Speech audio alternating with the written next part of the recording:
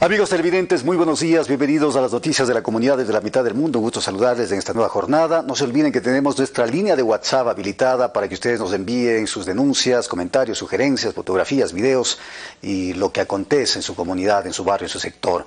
Esta línea es 096-935-5555. La tienen en la parte superior de sus pantallas. La noche del sábado, atención a esta, esta nota lamentable, trágica. La noche del sábado, del pasado sábado, una mujer que trabajaba vendiendo chicles y otros artículos. Ahí pueden ver ustedes las imágenes.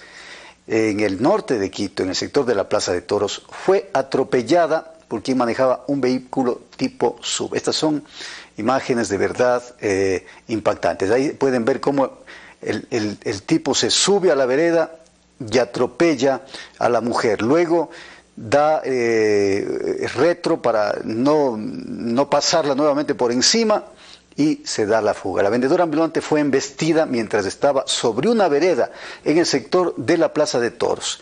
En las imágenes, eh, estas imágenes se han viralizado en redes sociales y ahí se observa cómo eh, quien conduce el vehículo de manera imprudente se trepa a la acera e impacta a la mujer lanzándola, lanzándola lejos. Después del execrable hecho, el dueño del carro huye, como lo habíamos manifestado del lugar, ante el intento infructuoso de otro trabajador ambulante por detenerlo.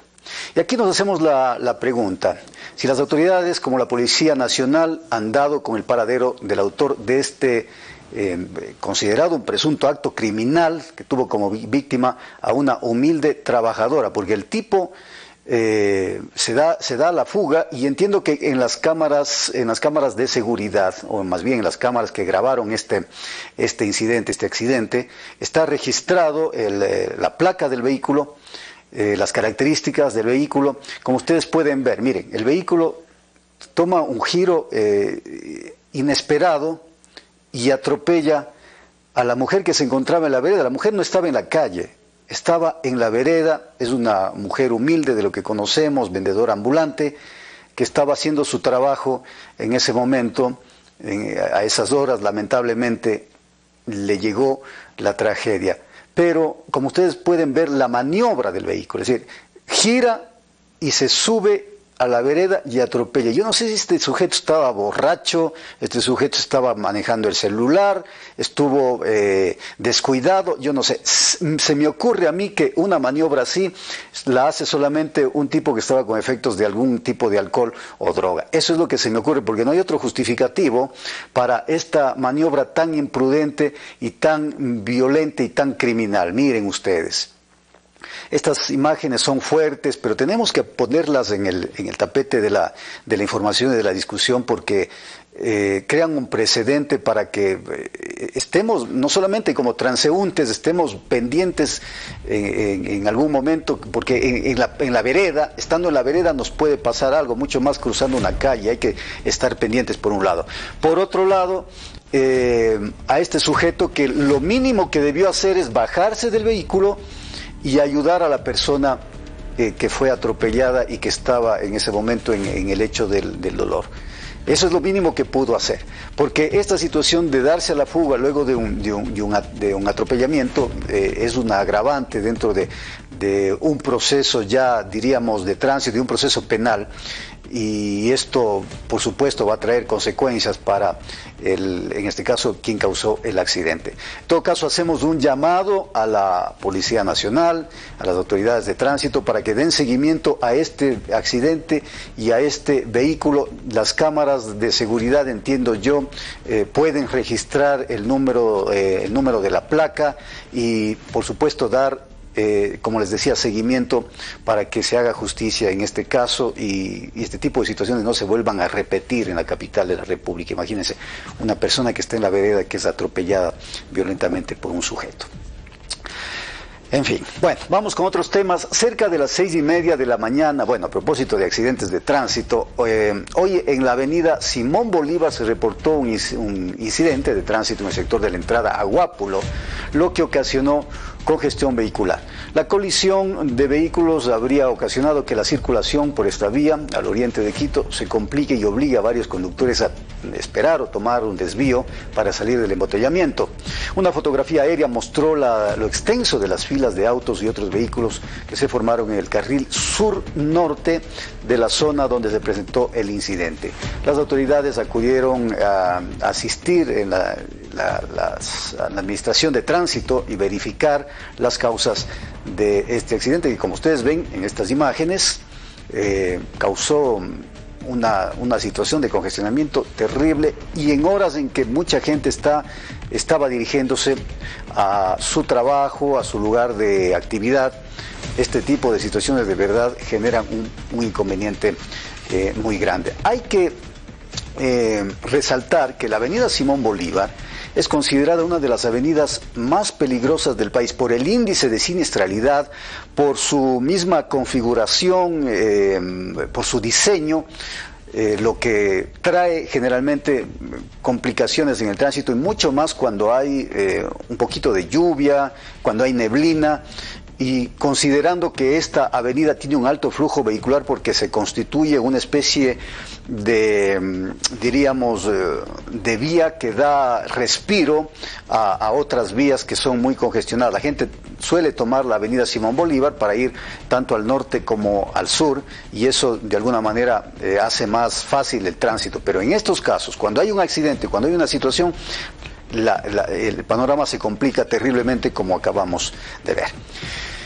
La tarde de este martes, delegados del Ministerio de Ambiente y funcionarios de la Agencia de Regulación y Control del Agua realizaron la toma de muestras eh, en la planta de tratamiento de Bellavista. El laboratorio Cesta se encargará de analizar las muestras. Con esto se probará la calidad de agua en la capital. Los resultados finales los definirá el ARSA en el transcurso de esta semana.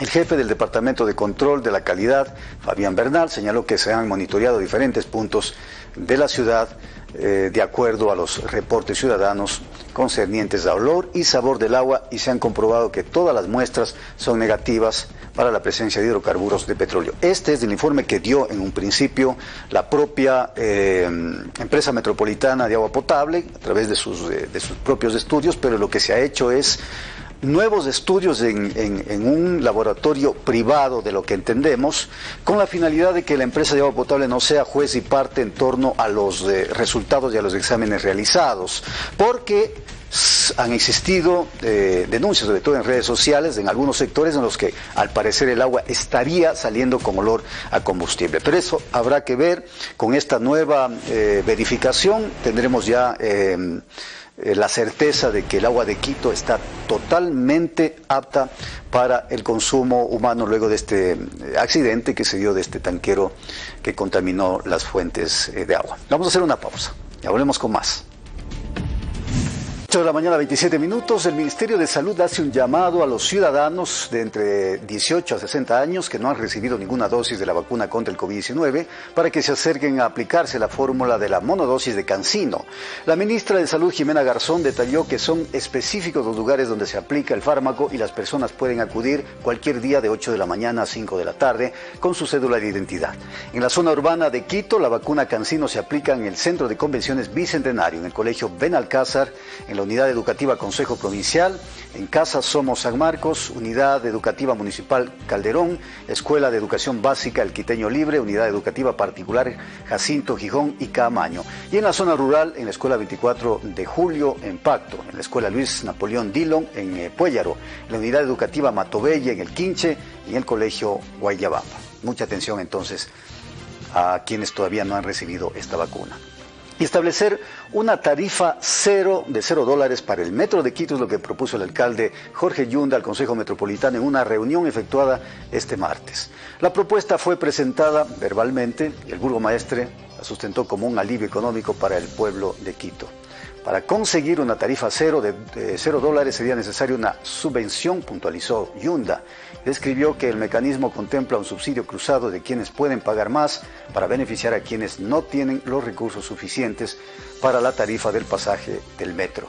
El alcalde mm, anunció que planteará un proyecto de ordenanza eh, totalmente eh, eh, establecido, estructurado para este tema.